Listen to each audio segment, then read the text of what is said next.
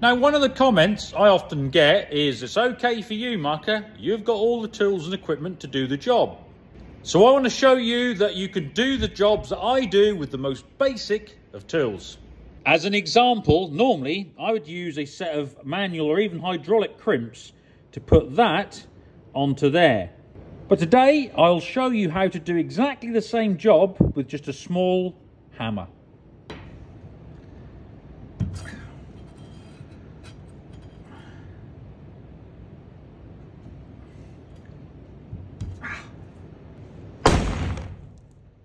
Job sorted. So there we go.